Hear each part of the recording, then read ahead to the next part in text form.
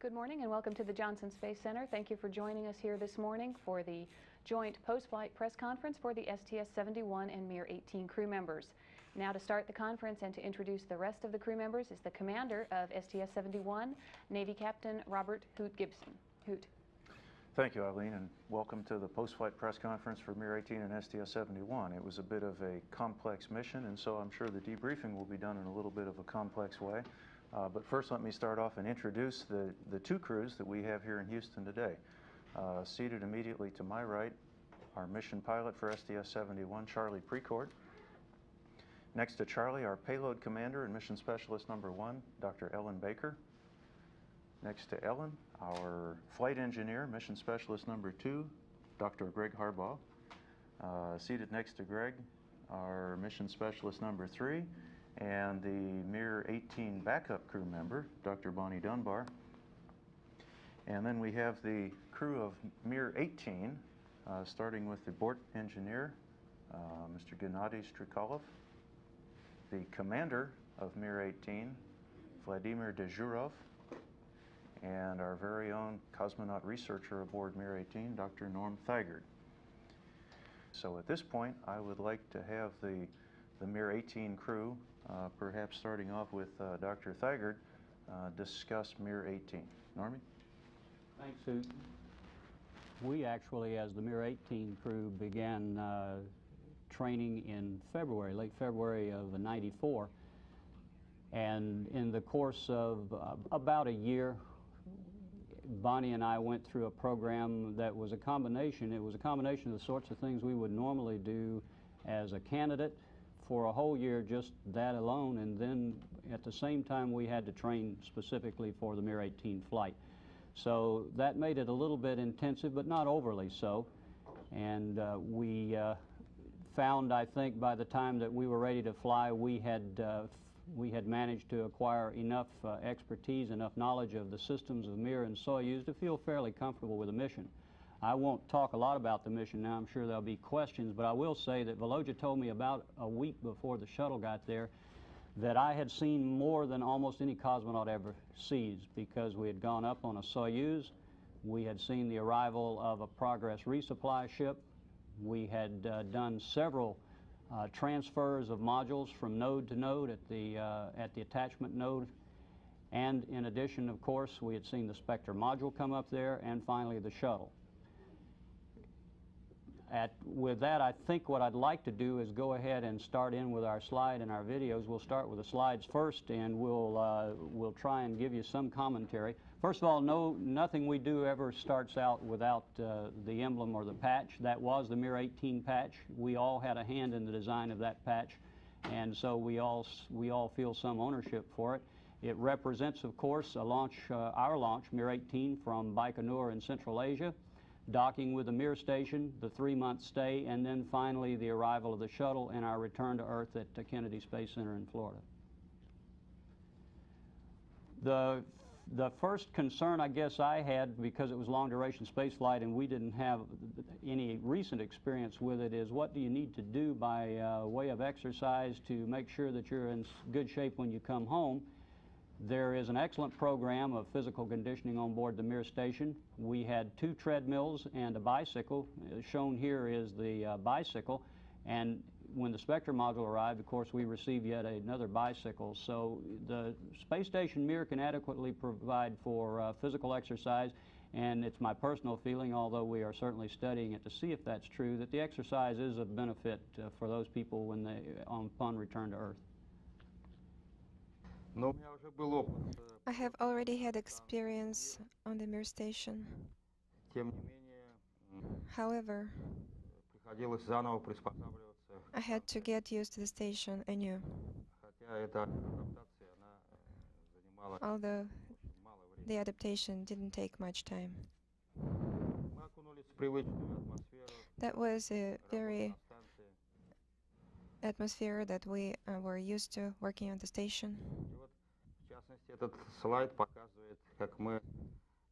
And this slide in particular shows you how we are studying atmosphere parameters.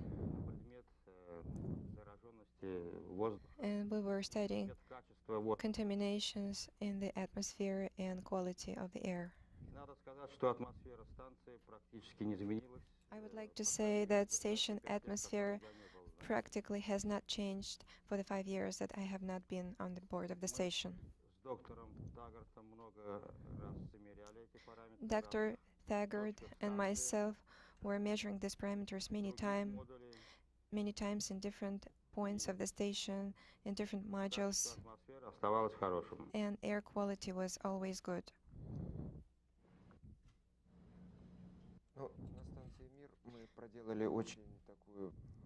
We have conducted a great amount of work and a very hard work on board of the Mir station. Especially, it was a very hard work after Spektr module docking to the Mir station. It was necessary for us to activate the module and to prepare it for docking with the shuttle. In order to do that, who had completely replaced and routed necessary number of cables. Also, we prepared the power supply system of the whole complex. We also prepared the station for the docking with Atlantis.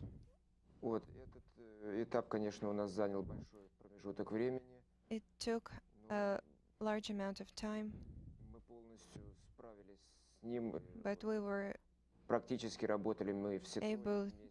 и Геннадий, я. to fulfill this uh, completely, and all of us, Gennady, Norm, and myself, were working on the same tasks at the same time.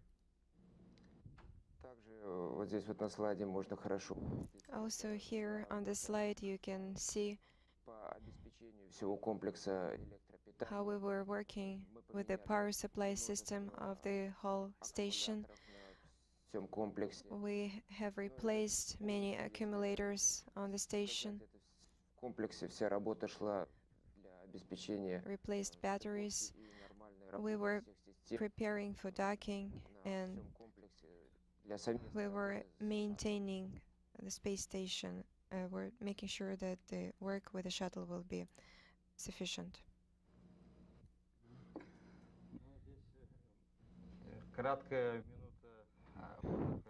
and this is a very brief minute of rest. Yes, during the day we were uh, getting very tired. And when I saw a guitar that has been on board of the station for many years,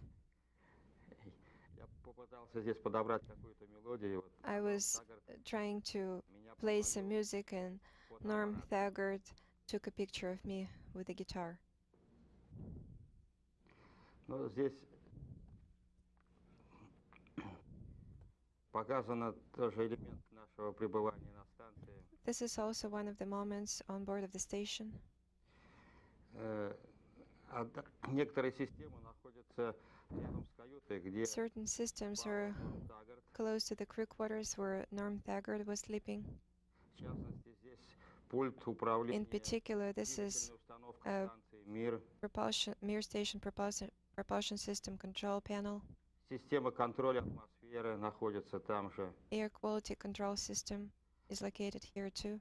Мы иногда приходи, нам иногда приходилось беспокоить м, Норма. Sometimes we в had процессе to нормальной disturb Norm because we had to work with the systems. работы. Он это хорошо понимал и не He обижался. was very understandable and he was never upset at us.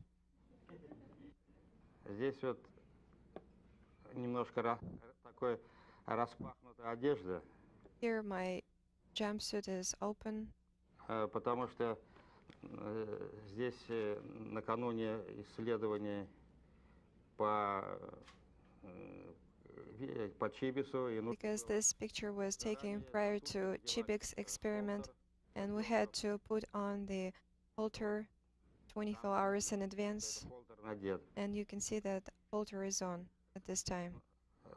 Норм Таггарт с- с- э, че- следил и, четко по минутам Norm Thagard следил, чтобы was холтер был был вовремя надет и ш- и вовремя был снят. was making sure that halter is on on time and halter is off on time. This was actually taken, obviously, during the STS-7 joint mission. If I'm not mistaken, that's probably the IMAX camera there. Uh, But this was, uh, this was a pretty standard uh, view to be seen on station. That is right in front of the dining table we had, and that wound up being pretty much the center of activity. If you needed to write anything down or do planning, and a lot of the experiments I conducted were conducted right from that place. uh, And also, when we held our video conferences during the course of the mission, we were usually pictured just as you see there in front of the, uh, the dining table with the camera looking in that direction. And uh, Volodya and Gennady here uh, are preparing for their EVA, and I saw a lot of this. Uh, there is an actual model of the Mir station, and they would, on the eve of, of the EVAs of their spacewalks, uh, get out the model and discuss among themselves and how they were going to do it, what handrails they would use, what paths they would choose to get there. They had trained for that, of course, before flight, but by the time the EVAs occurred, it had already been a couple of months and it was necessary to do these sorts of reviews. And apparently it worked out very well because the EVAs, of course, were successful. And perhaps Volodya would like to comment a little about uh, EVA preparations. Yes, I completely agree with Norman. Prior to an EVA, we had to model everything and simulated a few times because with time, after a certain period of time, a certain part, certain details you forget, and in order to remember them again, we had to simulate every stage of an EVA on the model. Also, during the whole period of time, we were able to perform five EVAs. The most difficult were the first three EVAs, where we had to retract the solar arrays and relocate it with this boom, cargo boom, to another module. And the following deployment of the solar array is as shown on this slide, so it would be able to operate normally within the whole complex, but on a different module. Gennady might want to comment on this one. I found this fascinating. Uh, Gennady basically is using a metal can lid for one of his schematics for work that he has to do. Gennady? Но здесь э, нам была предложена работа We were proposed to perform a job передачи части электроэнергии to transfer a part of the power модуля м, после того, как мы перенесли батарею на... after we relocated the solar arrays to Quant 1 module. Мы занимались э, прокладкой кабелей We were routing electrical cables for power transfer с этой батареи from this battery на другие модули. to other modules. Ну и вот иногда в качестве э, использовали все подручные средства. Sometimes we were using all means, even drawing schematics on such необычных unusual parts. This is a new module. It's shown right after docking with the equipment that came in that module. And as you can see on the slide, we were not even able to install it and activate it. This yellow part is a Mirask equipment which is going to be installed by Mir-19 crew by Anatoly Solovyov and Nikolai Budarin when they perform an EVA. And I'm guilty of putting this slide in there. The, the uh, STS-70 crew, 71 crew actually never saw this view. This is the base block, uh, the core module, and it's uh, basically taken from that dining table that you saw before, looking toward the central post, which is the post from which the entire complex is controlled. And uh, we went through and did a bit of housekeeping just before the shuttle arrived. But uh, in the course of a many months mission, you do things for convenience. And that is, if you use an object, you place it back in a place that's convenient for you. However, uh, because we wanted to uh, be good, good hosts and uh, present a, a nice clean station, the 71 crew never saw this because the day before they arrived, we went through, especially Volodya, in the core module and cleaned everything up. And that's uh, the slides. I think we have a bit of a video, perhaps about 15 minutes, so maybe we can go right into the video. And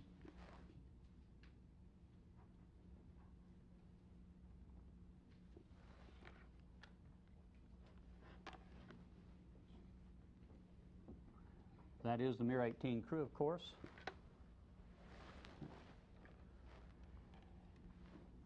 You could see the world, and in the course of three months, we got to see a lot of the world. However, we thought we'd show one that's familiar to a lot of our viewers, that is Houston.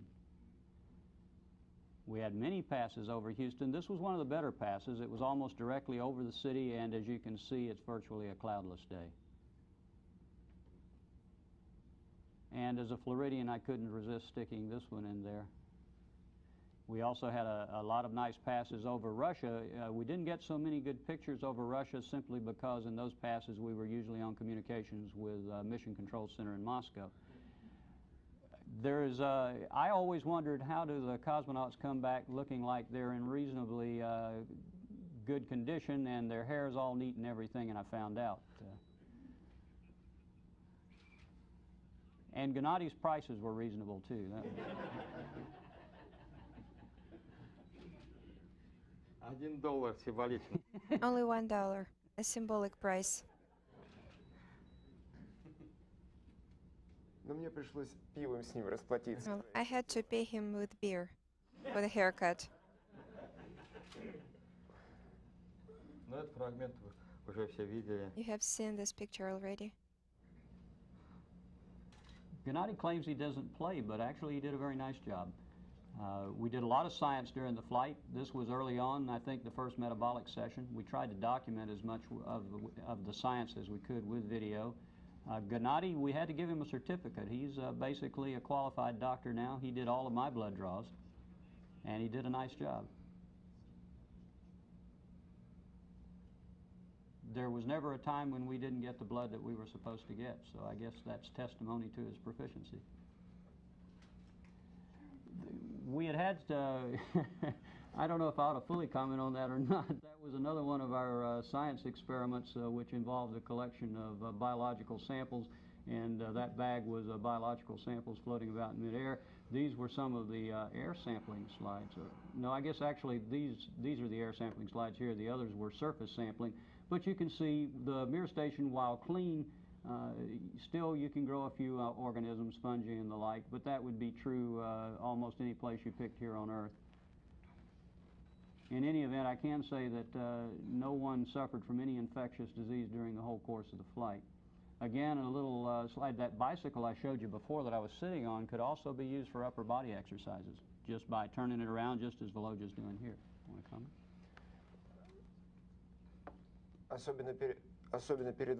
Especially prior to an EVA, we had to work with our hands a lot, so we should we would maintain our operability and save our strength for an EVA.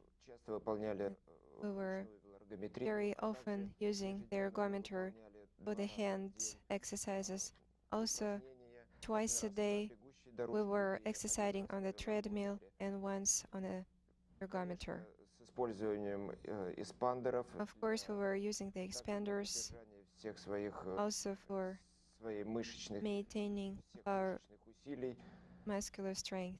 Приходилось тренироваться много. We had to exercise a lot.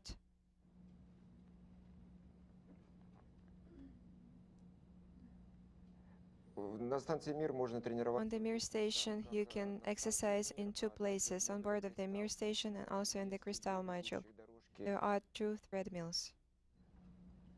I mentioned before the Progress uh, resupply vehicle that came up there. This is the Progress, and I apologize. Uh, it probably would have been a lot more spectacular in the daytime. However, the system of docking is fully automated, and it works very well. In fact, it works well enough that you can do it in the light or the dark, depending on which is more convenient. In this case, it was more convenient to do it at dark, so the entire docking sequence, the final approach and docking, were conducted in the dark. I, it it did seem to me, however, that uh, we got some pretty good photos when it got close in, even though it was dark. Now, this is the Mir station as seen from that Progress vehicle. There is a television camera mounted on the Progress, and here it is. At this point, it probably was no more than, I would guess, 25 or 30 feet away. When it actually docked, I took these pictures, but when it actually docked, I was uh, within, I was probably about where Gennady is located there from the docking node. This is the docking node to which the Progress is attached, and we're opening the inner hatch. Uh, I was going to say there was uh, no vibration, nothing sensed or heard uh, during the docking, so it was very gentle. And now you're looking at the docking cone of the Progress vehicle itself. And what we just opened there was, again, a hatch located on the station itself, which is the receiving cone for that docking cone. And it's uh, pretty surprising how easy it is to open all of that and get access. You do have to uh, verify, of course, the pressure seals before you can start opening hatches. All of that went normally.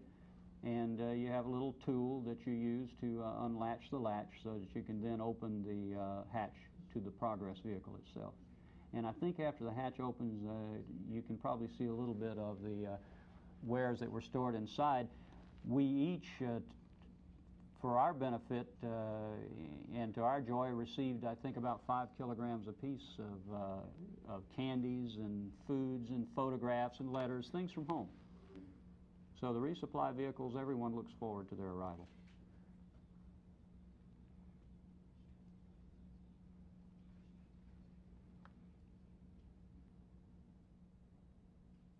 Many of the systems on board the Mir station are regenerable, but there will never be a station, I suspect, completely regenerable. So it's still necessary to send up some supplies uh, to the station using the Progress vehicles. Those things uh, amount to, uh, of course, replenishment of the food supplies, uh, fuel, because the station requires fuel to maintain attitude from time to time, and, uh, and water. And again, we're back into the EVA, so we'll turn this over to Volodya to uh, take you through the EVA sequences.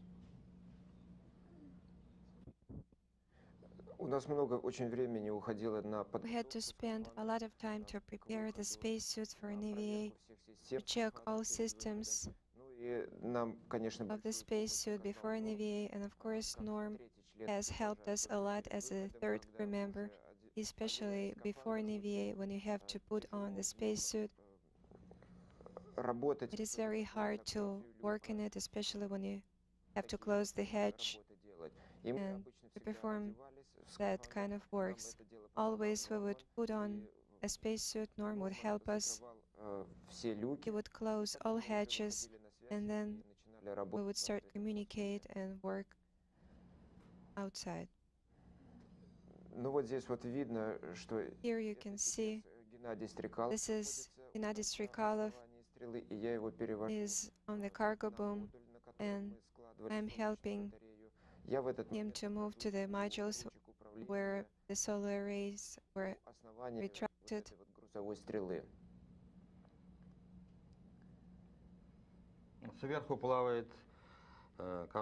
And on the top there is a box with the tools that you may need at any moment.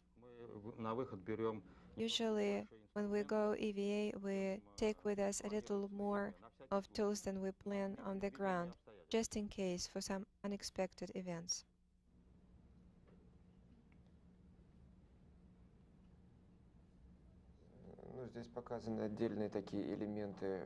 Here you can see certain elements of EVA when we had to fix the cargo boom and move along the cargo boom. Вот сейчас, насколько мне это помнится, мы...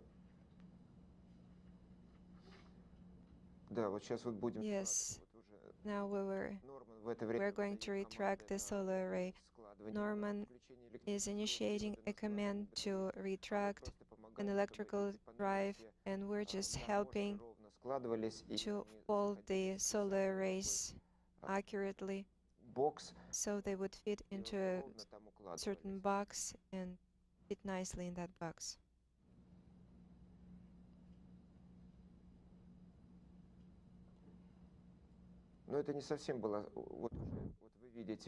Here you can see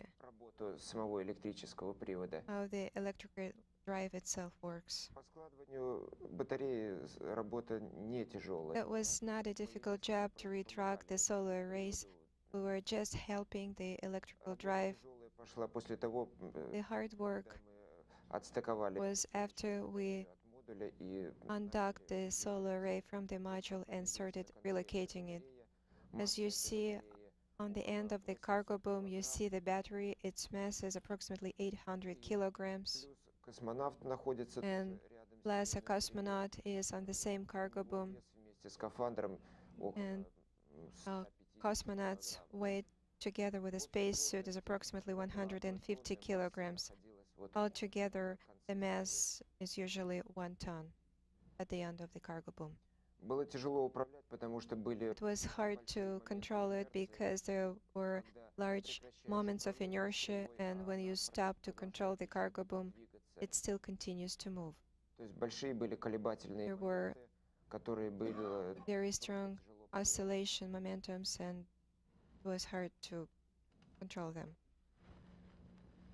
Well, of course, uh, the public probably actually received more attention or got more attention from the uh, the docking and uh, the approach. However, I think as you have seen from the video that preceded before, a lot went on before the shuttle could come up there. Those five EVAs had to take place and had to be successful, and they were. We had to move the modules from uh, node to node because the Kristall module needed to be located on what we call the minus x axis because that is the axis to which the shuttle will dock. That all went beautifully, uh, thanks uh, to good help from the soup and to a lot of hard work by Volodya and Gennady. Uh, it's amazing. I could not believe that you could sustain that much of a workload for that long a period of time, but they did, and they did beautifully. However, I think at the last we were all glad to see the shuttle come up there, and uh, not the least of the reason was just the sure the sheer beauty of seeing the shuttle because it is a beautiful vehicle, no question about it. And to look out uh, through a window. Someone asked me, "Well, did you watch the docking on the on the monitor?" And I said, "No, I looked at it through the window." And uh, that is a thrill I'll never forget. So we managed to get a lot of good video as the shuttle came up there. At times, actually, uh, the behavior of the shuttle was too good because what happens is the movements are so precise and so uh, controlled that it looks as though uh, there is no motion and that you're looking at a model and not a real shuttle. I had mentioned before when the Progress uh, came up and docked, uh, I heard or felt nothing. When the Spektr module came up, we heard nothing, but we could feel just a very slight vibration. However, in the shuttle, we're looking at a 100-ton vehicle, and when it docked with the station, there was definite motion of the station. And perhaps at the end, you can actually see a little bit of camera motion at the moment of docking. Again, so well controlled that the only way you could tell that there was a relative motion between the station and the shuttle was uh, the vertical tail has uh, tile separation lines, and you could gradually see those uh, tile separation lines di dis uh, disappear under the docking node on the Kristall module. But it was as though uh, we had it on a fishing line and we're just slowly reeling it in. Very controlled, very precise. I had thought beforehand that we'd all be a bit nervous looking out and seeing two large objects uh, so close in space. But when you saw how well controlled it was, all of that went away. I don't think any of us were nervous, except Hoot might want to comment about sweaty palms or something while he was operating the controls. But from our side, uh, we never had a moment's concern at all. And a smiling face of Charlie even was calming us down even more. And I think, yes, uh, that was actually the moment because it did move us a little bit, and I was trying to brace myself there in the window to stay steady with the photography.